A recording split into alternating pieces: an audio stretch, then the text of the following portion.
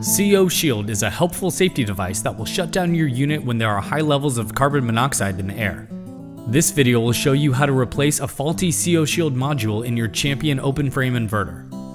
Only follow these steps after communicating with our technical support team and receiving a replacement CO Shield module. Your unit will not start without a functioning CO Shield module connected. Make sure the engine is completely cool.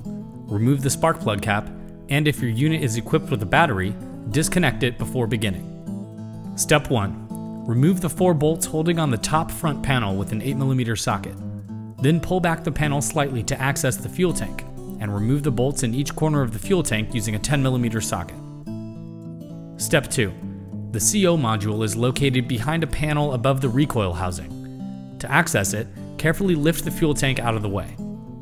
Then disconnect the module wire connector, followed by the two Phillips screws on either side. Once this is done, you can fully remove the old CO Shield module. Step 3.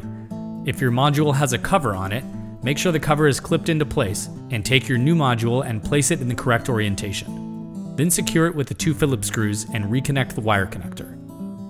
To reassemble your unit, set the fuel tank back in place and tighten the four bolts with a 10mm socket. Then replace the front panel and tighten the four bolts with an 8mm socket. Lastly, reconnect the battery and spark plug cap. Your CO Shield module replacement is complete. Always follow the safety guidelines in your operator's manual, and for more help guides, visit the Champion Help Center at help.championpowerequipment.com.